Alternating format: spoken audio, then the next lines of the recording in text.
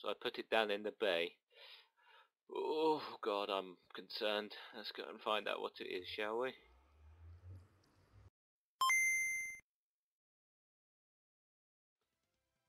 Hello everybody, welcome back to Symmetria, False Symmetry's Patreon server! My name is 8-Bit, and I'm very happy to see you here.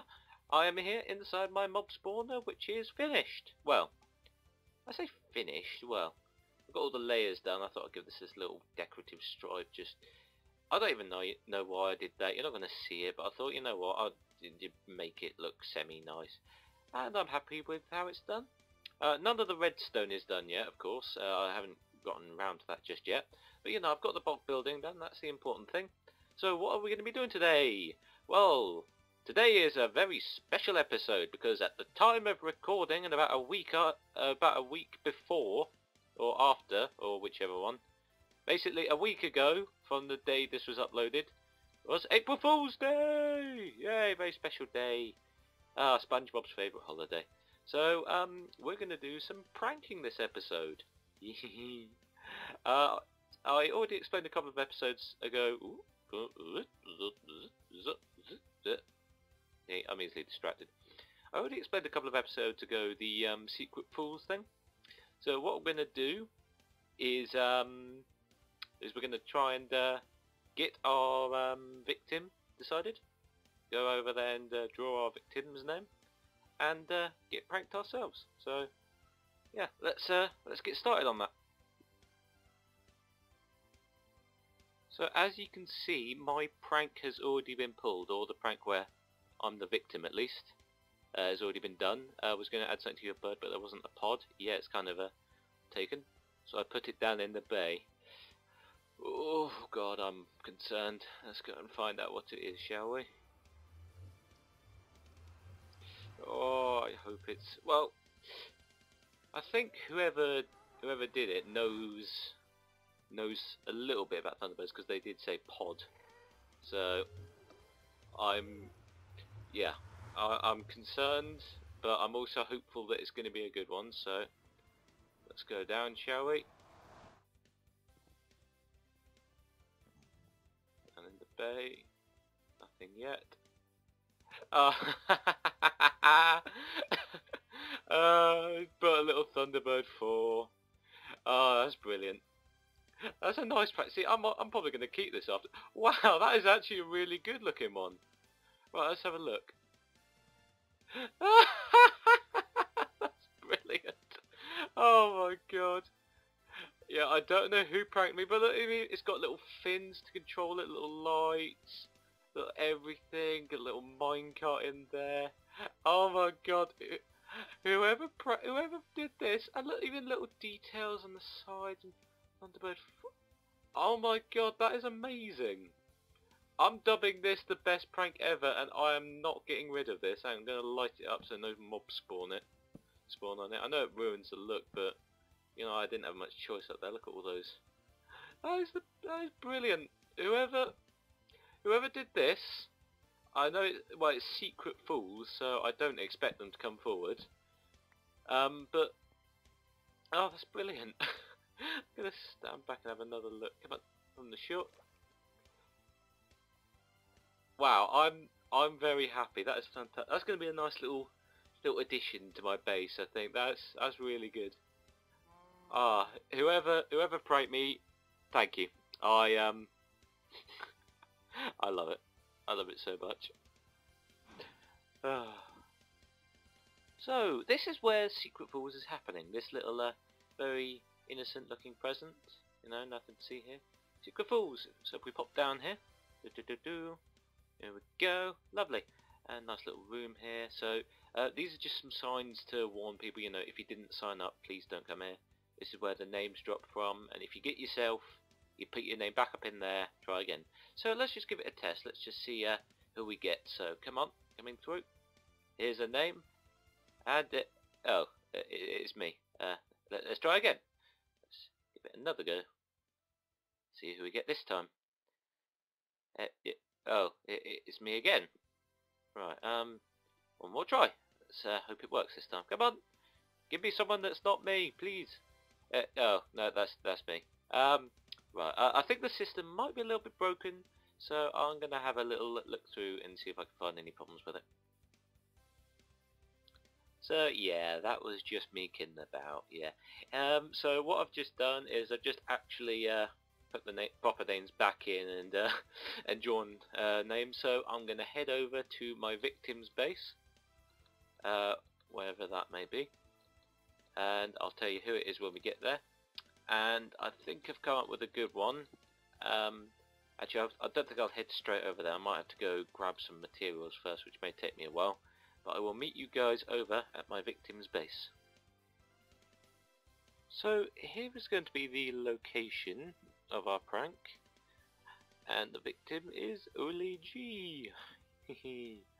uh, now I've been keeping up this elaborate ruse in chat I've got someone else, uh, Big Pig, who plays on the server because Ole's on and I don't want him to get suspicious. I'm going to have to do this very very quickly if I want to want to get away with it. But um, what what uh, he's done is he's built this little statue. He asked me to come have a look at it, see what I thought of it. Him time. Oh, yeah, you might need to give him a bit more time, mate. Um, he asked me to kind of give my opinion on this and possibly come up with something else.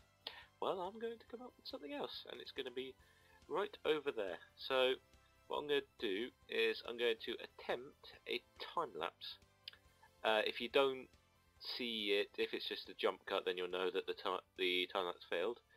But I'm hoping I'm going to get one done. So let's get it started.